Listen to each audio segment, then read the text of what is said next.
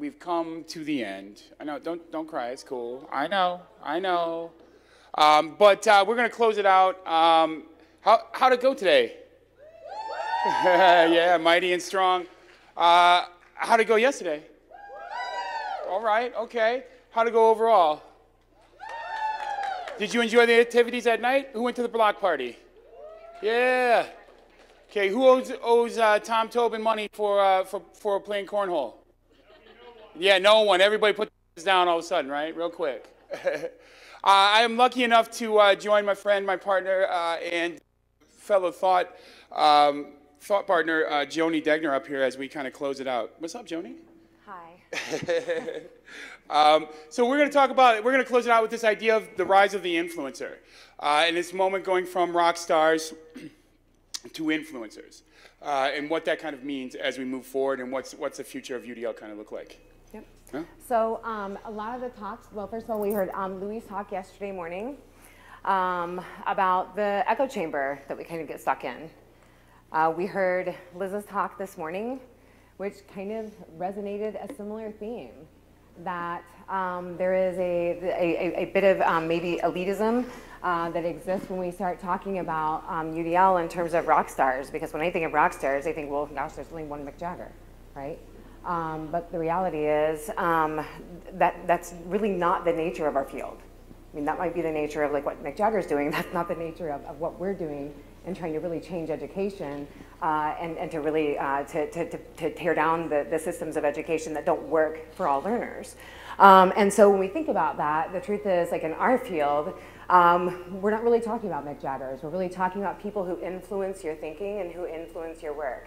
Um, so when Bryan and I started thinking about like, well, how do we really want to close this out? If we're really kind of bringing everything together, it really is time to start thinking about like, how do we move our mentality around the, the people who we think are moving the work um, to thinking about it in a much broader sense and really acknowledging the people who are, are, are moving the work in all corners of our field. And so in doing that, it really is time to kind of stop talking about rock stars and start talking about influencers. Right. I, like, I gave you the technology because, uh, as we all saw this morning, that's not, I guess that's not my thing. Um, is it working for you? Well, I hit the green button. Yeah, yeah. Can somebody advance our slide?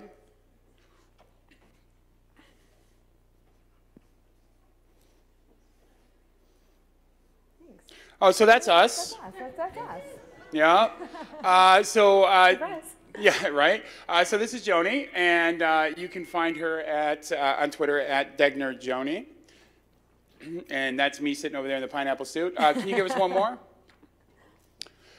and so Joni kind of covered over this, right? Seeing yourself as an influ influencer, valuing and amplifying voices in all parts of the work, and smashing elitism in the field. And it's not elitism that we, that we have constructed. Like, that's really, really important that we understand that. It's not elitism that we have said, you know what, we're going to build as many walls as possible, keep people away from each other. But they happen over time as, as we start to as we start to kind of consolidate what we're thinking and how we're moving and start working in isolation. Can you give us the next one? So what is an influencer? Uh, influencers impact the way you feel, right? They cause a reaction. They're a trusted source of information.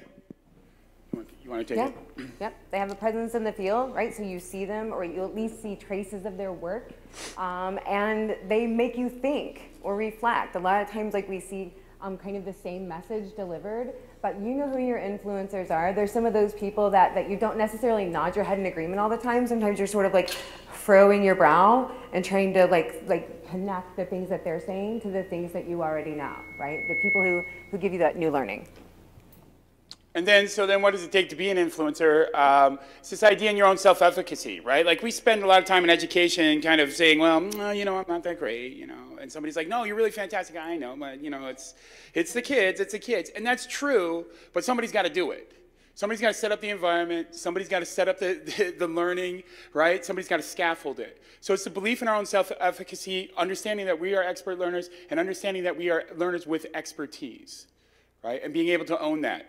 Another side of that is connectivity, right? In whatever form you choose, whatever form you choose. Like you could be a person that stands up on the stage, or you could be a person that just builds a PLC. You want to add to that one? Yeah, I mean, we also know that like there are people who routinely get into UDL chat like every two weeks. That's connectivity. I also have practitioners in my own school who have kind of started building their own self-efficacy. and I've decided like, you know, I'm gonna start taking pictures of stuff I do and I'm gonna post it out there. Not because I'm, I'm bragging on my own work, but because I think practitioners want to see what other practitioners are doing. And the truth is, they get tweeted, they get retweeted, they get pulled into other hashtags not associated with UDL, and that's really meaningful connectivity. And so it, it, doesn't necessarily mean like, well, build your own consulting business or go write some books. It means be connected to, to, to, to anybody in any way. Even like Bryan said, even if that just means you're grinding in your own PLC in your own schools, like, that's really great work and it's, it's meaningful connectivity. That was what was so powerful yesterday. Who, who caught Camille Wheeler yesterday uh, on Loui's podcast? Did anybody? Yo, right? And there she is right over there, right? Like she's like, Bryan, you son of a, right? But that's okay because Camille, you're an influencer. And what you did, you, you're just, you may think that you only, you're just doing what you feel is right. But when you came up here and you shared your story, there were a lot of people that were like, I get it. And I could do it right? And that's that's being an influencer. The idea of the rise and grind. So you so obviously you can tell which ones I wrote and which ones Joni wrote. Hers are nice and flowery. Mine are rise and grind. Get that hustle. Um, but that's the truth. Like this to me is the truth. Every day you get up and you know that the work is hard. So you get up, you get to that grind, right? And you say, I gotta hustle, I gotta hustle UDL. I gotta put it out there, I gotta figure out how I push that, push that boulder up the hill in some cases, how I, how I ice skate uphill, how I skate through mud, right?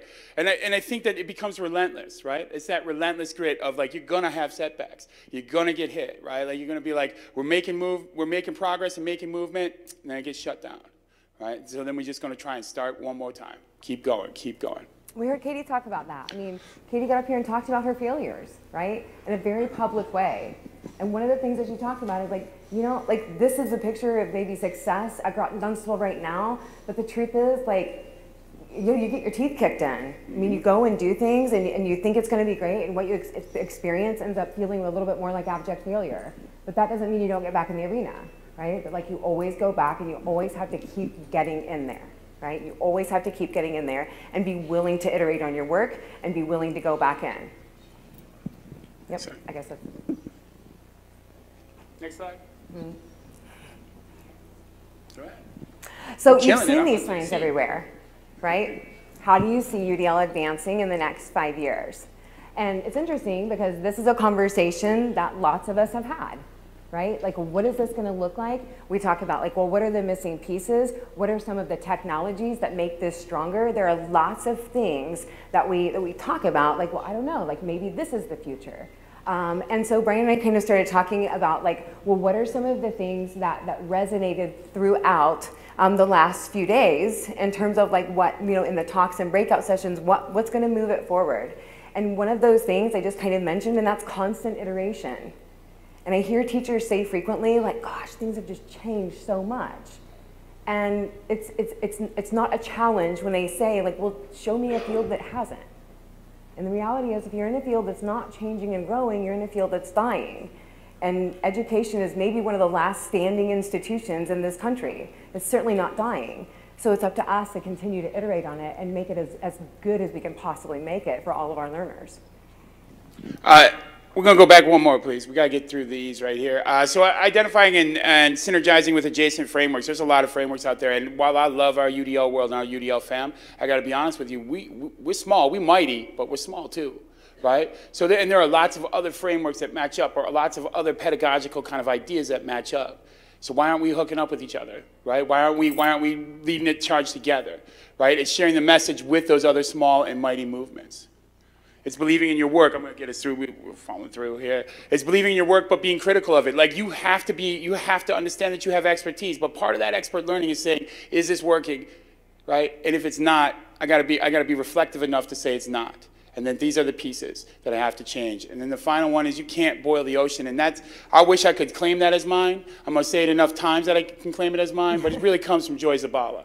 And Joy Zabala, she told me one day, because I was like, man, I'm having a hard time getting teachers onboarded to this idea of UDL. And she's like, Bryan, you're asking them to boil the ocean. You're asking them to do everything, right? Where are they starting small? Where are they getting some successes, right?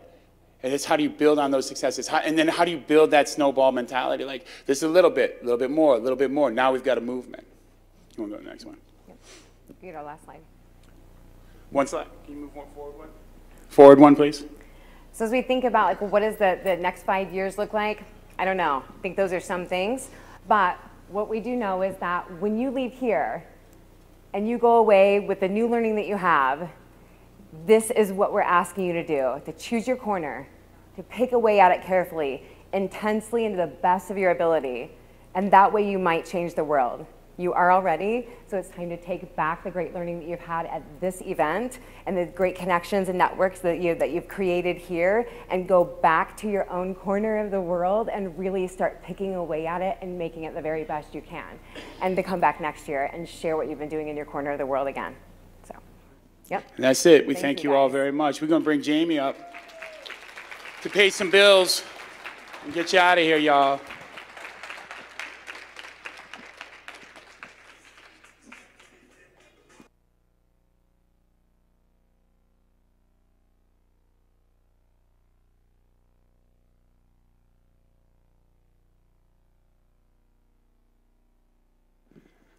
I cannot believe that we're finally coming to the end of uh, a wonderful two-day conference. Uh, but I say finally because we've been dealing with AV issues all day long and throughout the entire conference. And these are things that we plan for over and over and run through over and over and over again.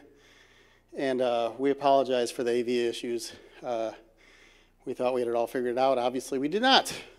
And so this has actually been one of our worst years with AV uh, since we've been here. All right, uh, we want to give you the power to go back into your schools, to go back to your job, wherever that might be, whether you're in, in industry, whether you're in a classroom, whether you're in an office helping teachers grow and supporting change in your own environment. Uh, that is part of why we came here today, but we want you to know that you can take something with you. Uh, many of the presenters have put forth a proceeding, and in academic terms, it's a paper that comes out and explains the different sessions. Uh, you will be getting a note uh, in the very next few days around where to access those proceedings so that you can actually take these things with you, share them with your, with your, uh, your PLC or whatever it might be, but you'll have your proceeding that you can take with you. We are also, uh, we've had a number of people talk to us about Sched and the idea that are the slides on Sched? Are the slides on Sched? We're going to send another notice out to many of the people who presented and have them, if they've not put them on Sched, uh, we're going to have them uh, upload them, their slides to Sched if they're willing to do so. I know many of us, myself included, are picking up things as we move throughout the conference and saying, oh, I should add that to my slide. And so we add that last thing to the slide, and we never, we never re-upload to SCED, but we're going to we're gonna send out a notice to presenters to do that. So proceedings and Sched will be updated soon, and we'll, we'll send a notification out about that so that when you go home, you could be your own influencer. We've had a number of questions in the last couple days about, hey, I saw this person with cards. Where do I get these cards, right?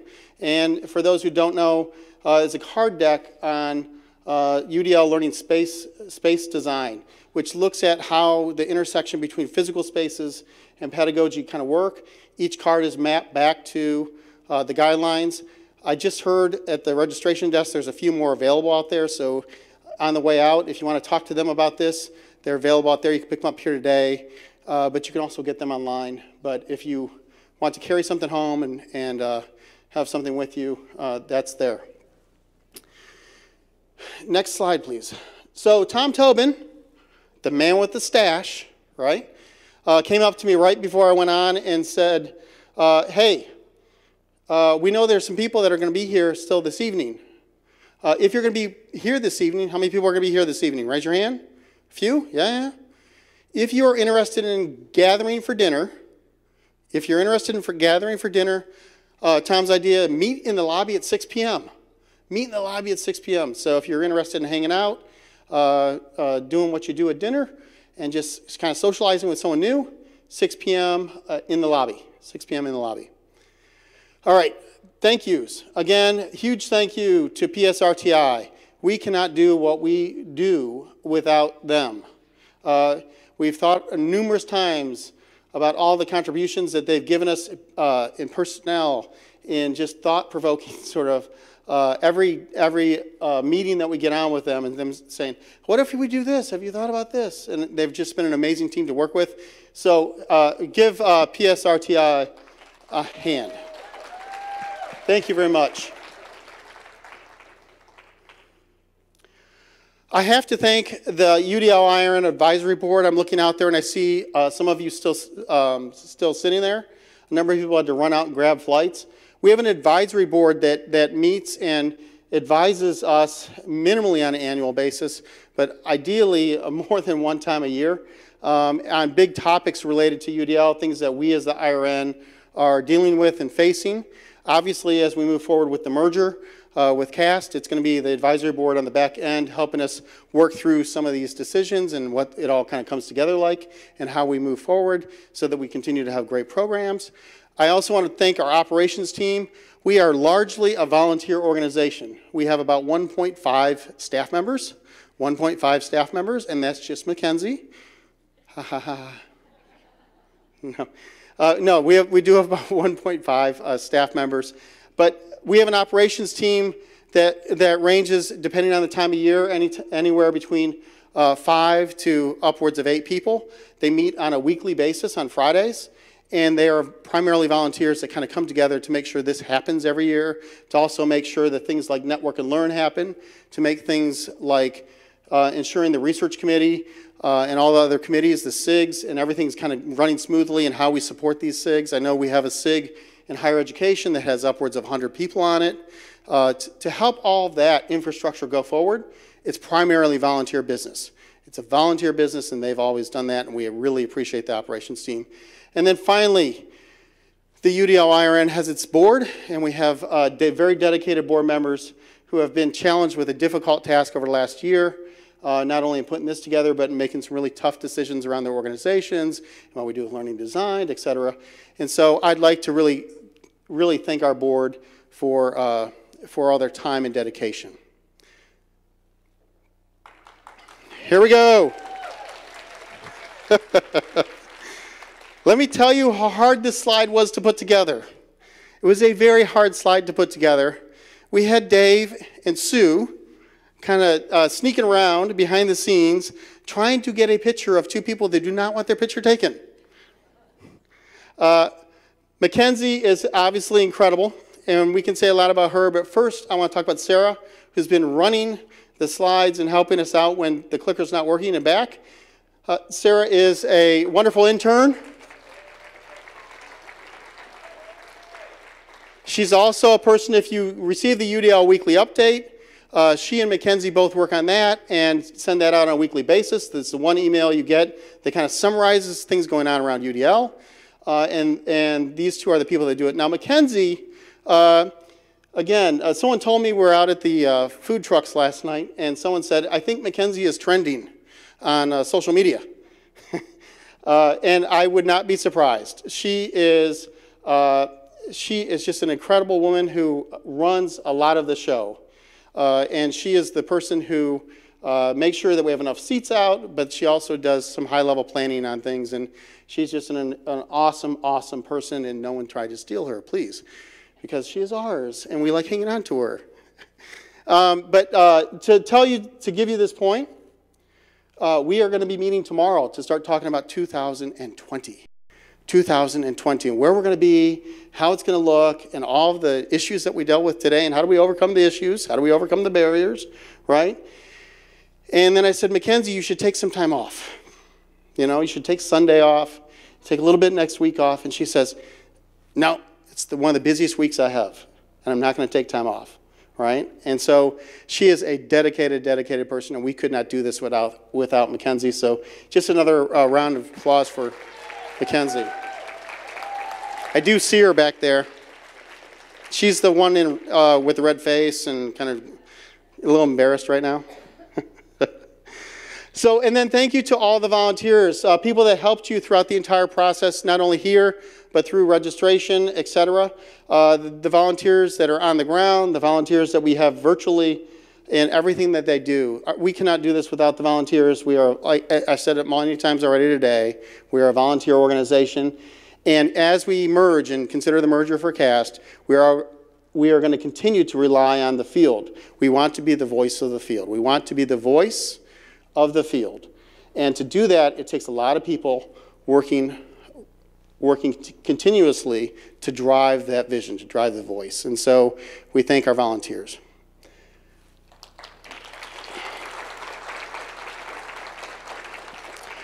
Finally, I've said this enough times, we want to thank, we want to thank our sponsors and the people that have come together uh, to help this all kind of come together. I've had numerous conversations with each and every one of them, uh, from AI Media, Help, Gould Evans, Cast, Northern Ival, and TippyTalk. They've all been wonderful at what they do. Uh, there, I know there's, we've had other vendors and, and ed tech folks in, in the room, and we've had architecture firms and design firms in the room. Uh, we believe, we believe, we truly believe that to move education, educators can't do it on their own. Educators cannot transform education on their own.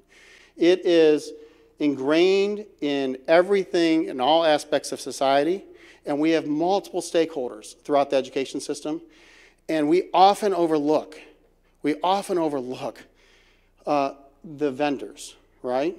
Vendors contribute a heck of a lot to education, and sometimes they contribute a lot in not such a good way. So the idea is, we've always believed, if we bring them to the table and help them solve our problems with us, and not just for us, but with us, that that's how we truly change. If we bring everyone to the table, if we bring everyone to the table, education leaders, educators, researchers, professors, and the vendors and the people who are trying to drive this, if we bring everyone to the table to solve the problems, that's how we're going to change the system. It, can't, it cannot just be done by educators alone. So we truly appreciate our vendors coming to the table and helping us put on this event and trying to keep the costs as low as we could possibly get them. Uh, we truly appreciate them. So thank you very much.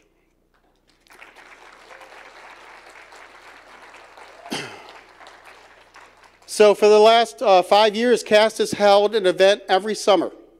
And it's a different event than this. It's quite a bit different. And it's meaningful, and, and they bring together true leaders of the field in multiple ways. The, the CAST UDL Symposium is going to be August 7th through the 9th in Cambridge, Massachusetts.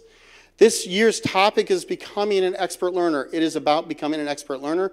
So if you feel like you want to hang out in Cambridge in August, uh, it's going to be av available to you. Now, I would normally tell you that Cambridge is nice in August, at least nicer than Florida in August. Last year, maybe not. But it is, a, it is a little bit cooler. The weather tends to be a little bit nicer, and it's a great area to hang out in uh, and to see uh, some of the heritage of our, of our country. Uh, the CAST UDL Symposium is a wonderful event to attend. So that's August 7th through the 9th. Finally, tonight we take off like a few hours. We don't really take off because we'll be talking quite a bit about AV and facilities and all the other stuff that's going on, and our experiences will be reflecting on those. But tomorrow morning, we do wake up with a very targeted goal of thinking about next year. And we wanted to make it a data-based decision. Please provide us any sort of feedback through, evaluation, through the evaluation. You can either scan it in or obviously type in the tiny URL. Um, provide us the feedback uh, as soon as you possibly can we would truly, truly appreciate it so that we can move on to next year's event planning. So, and that's all we have for you. We want to say thank you for attending. Thank you for coming out and uh, sharing with us all of your knowledge and expertise.